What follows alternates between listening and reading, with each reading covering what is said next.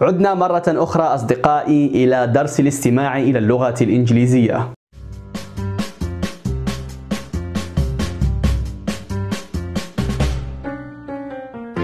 مرحبا بكم أصدقائي مشاهدي ومتابعي قناة English Sate لتعلم اللغة الإنجليزية لكي لا أطيل عليكم. في هذا الدرس سوف نستمع إلى اللغة الإنجليزية سوف نستفيد كلمات وتعابير جديدة. ونتدرب أيضا على النطق.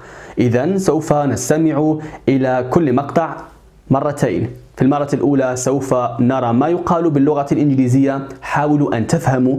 وسوف أعيد المقطع للمرة الثانية وأضيف الترجمة إلى اللغة العربية.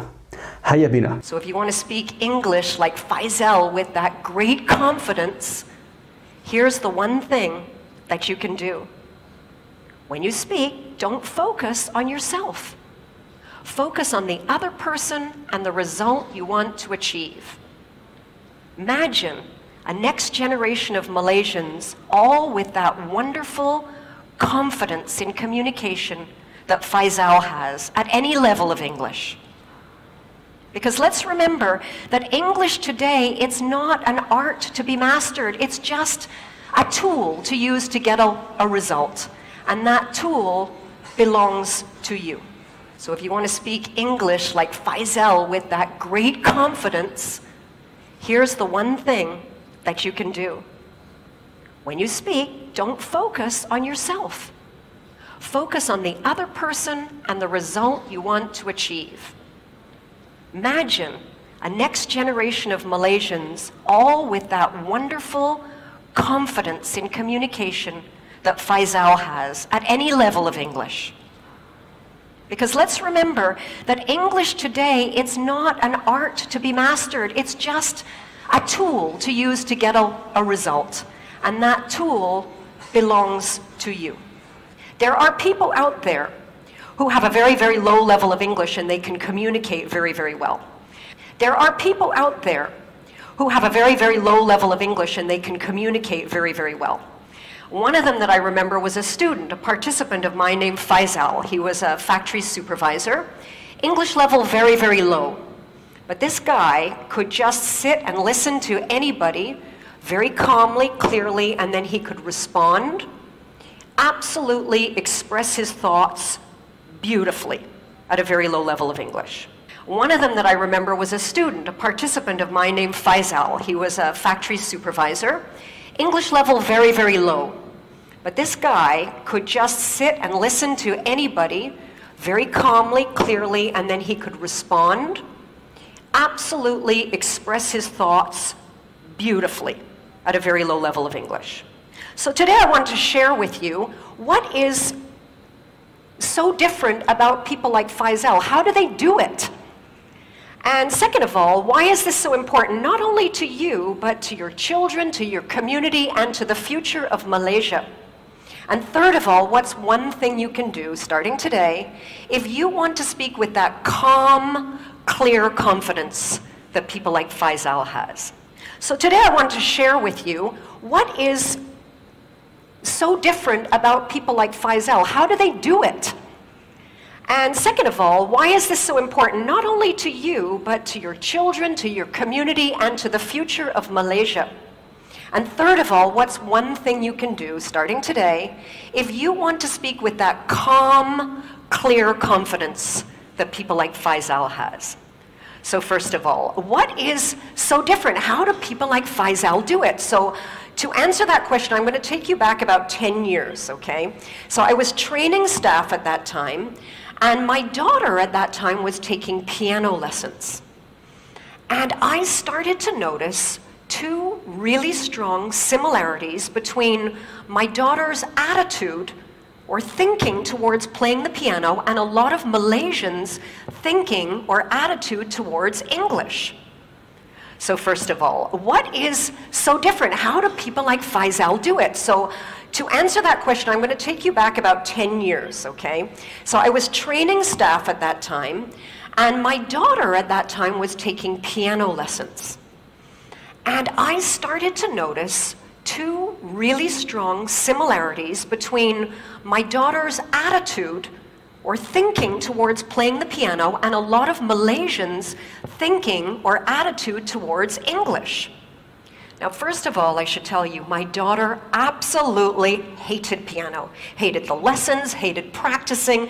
This is my daughter practicing piano, okay? This is as good as it got. this is the real thing. And she dreaded going to piano lessons because to my daughter, going to piano lessons, she was filled with this sort of dread because it was all about not screwing up, right? Because, like for a lot of piano students, to both my daughter and her teacher, her success in piano was measured by how few mistakes she made. Now, at the same time, I noticed that a lot of Malaysians went into English conversations with the same sort of feeling of dread, this sort of feeling that they were going to be judged by how many mistakes they were going to make. Now, first of all, I should tell you, my daughter absolutely hated piano, hated the lessons, hated practicing. This is my daughter practicing piano, okay? This is as good as it got. this is the real thing. And she dreaded going to piano lessons because to my daughter, going to piano lessons, she was filled with this sort of dread because it was all about not screwing up, right?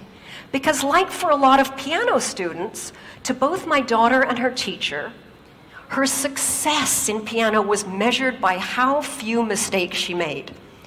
Now, at the same time, I noticed that a lot of Malaysians went into English conversations with the same sort of feeling of dread, this sort of feeling that they were going to be judged by how many mistakes they were going to make.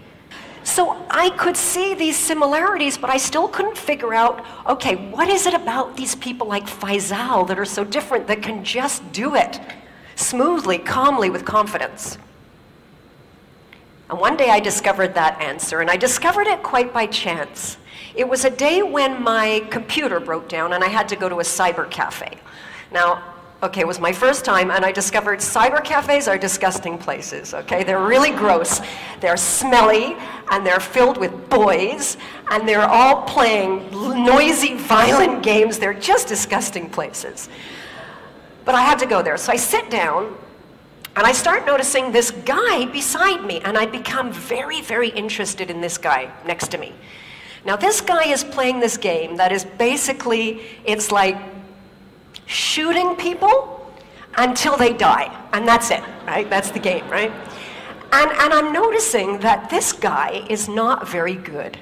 He's like, in fact, terrible, right? Because I'm looking and I'm seeing like a lot of shooting and, and, and, and not much dying, right? but what really interested me was behind this lousy player were three of his friends sort of standing there watching him play.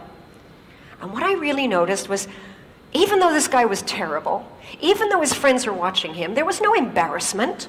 There was no feeling of being judged. There was no shyness. In fact, quite the opposite. This guy's like totally focused on the bad guy, smile on his face.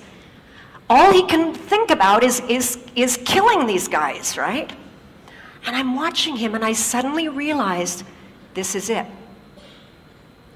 This is the same attitude, attitude that people like Faisal have when they speak English. Just like this guy, when Faisal goes into an English conversation, he doesn't feel judged. He's entirely focused on the person that he's speaking to and the result he wants to get. So I could see these similarities, but I still couldn't figure out okay, what is it about these people like Faisal that are so different that can just do it? smoothly, calmly, with confidence. And one day I discovered that answer, and I discovered it quite by chance.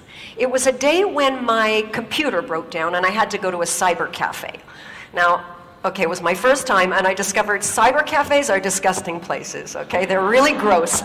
They're smelly, and they're filled with boys, and they're all playing noisy, violent games. They're just disgusting places.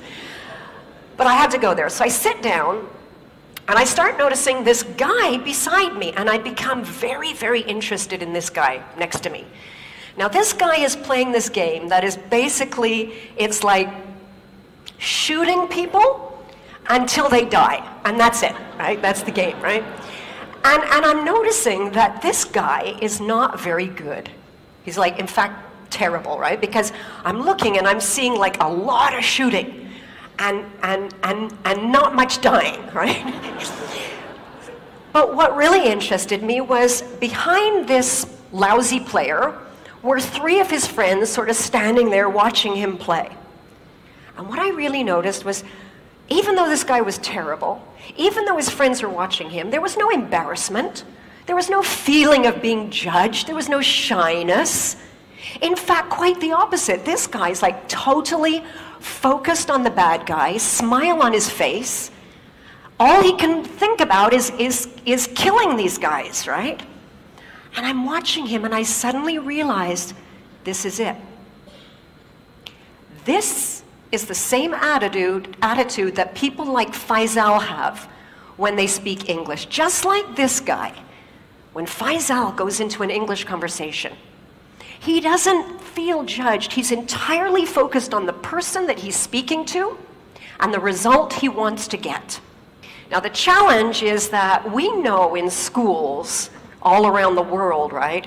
English is not really being taught like it's a tool to play with. It's still being taught like it's an art to master. And students are judged more on correctness than on clarity. Now, the challenge is that we know in schools all around the world, right? English is not really being taught like it's a tool to play with. It's still being taught like it's an art to master. And students are judged more on correctness than on clarity. And if you're in a stressful situation and you're having a conversation and you're trying to give a result to someone and say it correctly, your brain multitasks. It cannot do two things at once. And what I see is the brain just shutting down. And you may recognize these three symptoms of the brain shutting down. The first one is that your listening goes. Someone's talking to you and you're so busy thinking about how you're going to respond and, and express yourself correctly, you don't actually hear what the other person said. And I can see a lot of nodding in the audience. The second thing to go is you're speaking. Your mind sort of shuts down, and that vocabulary you do know just disappears, and you, the words don't come out. The third thing to go is your confidence. And the worst thing about this is you may only be confident because you cannot express yourself clearly, but to the person talking to you, they may misunderstand this as a lack of confidence in your ability to do the job, to perform. And if you're in a stressful situation and you're having a conversation and you're trying to give a result to someone and say it correctly, your brain multitasks, it cannot do two things at once. And what I see is the brain just shutting down. And you may recognize these three symptoms of the brain shutting down. The first one is that your listening goes. Someone's talking to you and you're so busy thinking about how you're going to respond and, and express yourself correctly, you don't actually hear what the other person said. And I can see a lot of nodding in the audience. The second thing to go is you're speaking.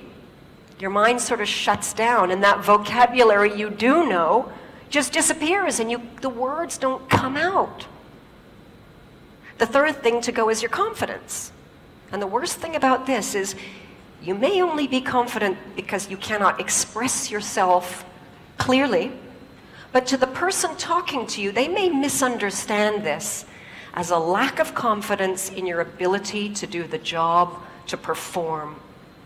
إلى هنا نكون قد انتهينا من هذا الدرس. آمل أنكم قد استفدتم. إذا استفدتم شاركوا الدرس مع أصدقائكم حتى تعم الفائدة وإلى أن نلتقي بحول الله في درس جديد أراكم بخير. See you in the next video.